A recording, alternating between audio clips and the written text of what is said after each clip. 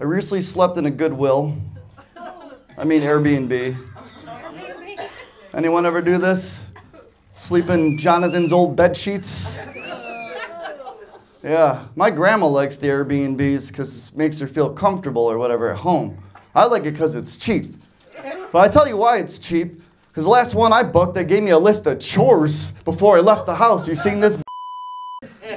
Do the dishes, take out the trash, and tidy up.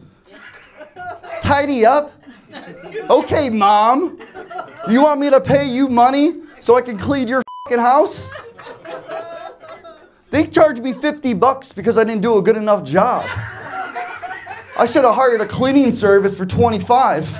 Split the difference. You gonna be okay over there, sir? You stay. We probably stayed at the same Airbnb.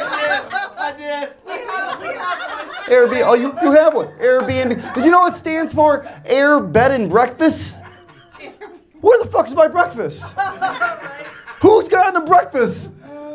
It's called air, bed, and cook your own breakfast. And then when you're done, do the dishes, take out the trash, and tidy up. Hey, heck, let me book your next Airbnb guest for you while I'm here. I'm gonna give myself a five star review, Susan.